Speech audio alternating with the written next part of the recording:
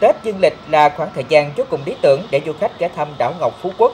Hầu hết du khách tới Kiên Giang đều tập trung tại bốn địa điểm du lịch có biển là Phú Quốc, Kiên Hải, quần đảo Nam Du, Hòn Sơn, Hà Tiên, đảo Hải Tặc, Kiên Lương, quần đảo Bà Lụa.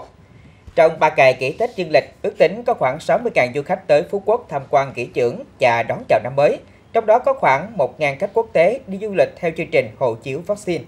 Ba ngày qua, các khu điểm du lịch ở thành phố Sa Đéc, tỉnh Đồng Tháp đón khá đông du khách. Năm nay, các trò chơi dân gian tập trung đông người đều được các cơ sở tạm dừng hoạt động.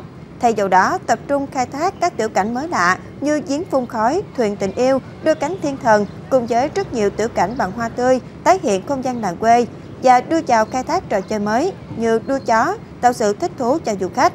Tính đến trưa qua, mỗi khu điểm du lịch ở làng Hoa Sa Đéc đón từ 800 đến 1.500 lượt khách đến tham quan.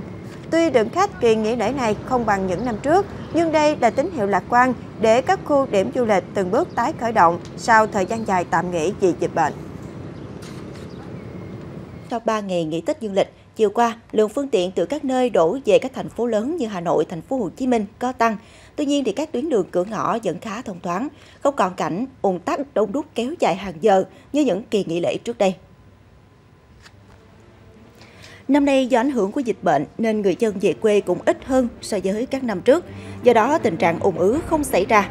Mặc dù vậy, Phòng Cảnh sát Giao thông Công an thành phố Hà Nội vẫn ứng trực 100% quân số, có phương án thông tin phối hợp với Cục Cảnh sát Giao thông Bộ Công an phân luồng từ xa, từ trên cao, cao các cao tốc Pháp Dân, Cầu Chẻ, Hải Phòng, Hà Nội, Thái Nguyên, Hà Nội, Lào Cai, Hà Nội khi xảy ra sự cố ủng tắc.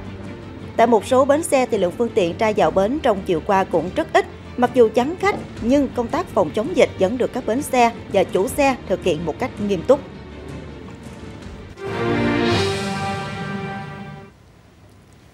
Thành phố Hồ Chí Minh, nhiều tuyến đường ở các cửa ngõ thành phố thông thoáng lạ thường.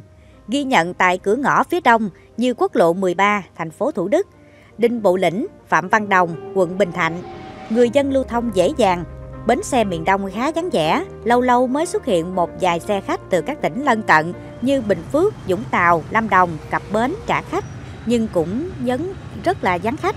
Còn ở cửa ngõ phía Tây giao lộ quốc lộ 1A Nguyễn Hữu Trí ở huyện Bình Chánh, được xem là điểm nóng về tình trạng kẹt xe trong các ngày lễ Tết thì chiều qua không xảy ra ủng tắc.